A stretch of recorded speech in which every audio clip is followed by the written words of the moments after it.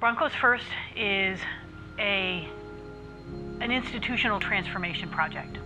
Um, we started with a question, what would it look like if everything we did in the institution was aimed at student success? That student success was the linchpin of everything we do. Program has two components. One is the year-long first year experience class, and it has a mentoring experience integrated into the program. So there are some class sessions that um, the students spend either with professional learning communities or with um, community mentors from outside um, fields to work with to get that mentoring experience. So the main goal with the student program is to help get students engaged in the campus early to increase their um, persistence in graduation at Western. Broncos First is the name that we have given to a U.S. Department of Education uh, first in the world funded initiative on our campus. We call it Broncos First because it is all about our students.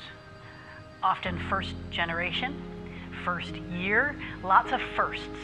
So we named this Broncos First to, to symbolize a lot of different things about the project.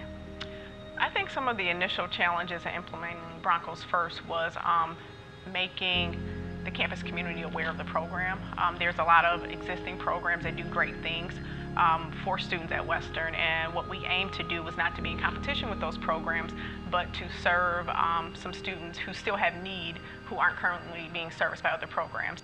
The Broncos First program really helped me reflect on my progress as a first year student.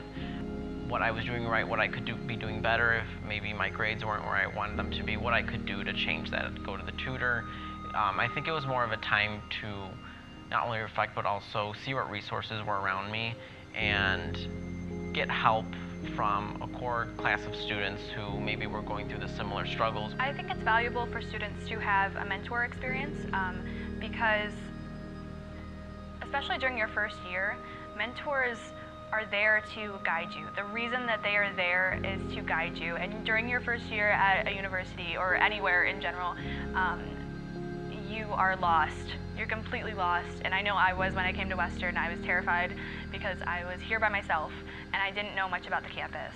So my mentor showed me so much about Western and gave me so many opportunities through the community and um, through Western. My mentor, through the discussions in class and the activities, it really helped you understand how you as a person can handle uh, conflicts that come up in your life or in your academics, and it really helps you prepare uh, to visualize it or, or handle it in a better way.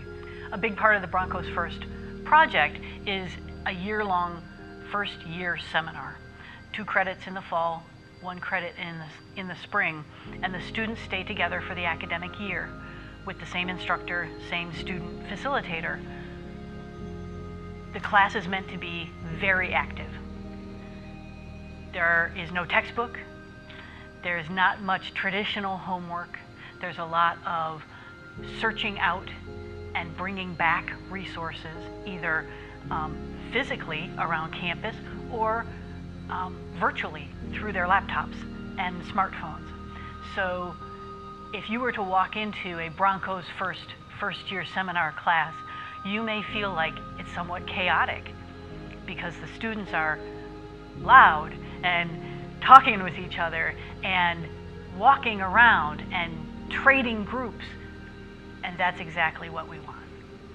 To have the students really engage with each other, engaged with the campus, engaged with their instructor and the student facilitator. The last day of class, I'll never forget how much Western pride all of these students had and how passionate they were for the university. And it was so exciting to think back to where we were and how Broncos First really was able to get them connected with the institution, connected with community mentors, connected with other students on campus and organizations. And it was awesome. I'm so excited for this year to be able to see what the students in my class now um, are faced with and how they overcome that and grow this whole academic year.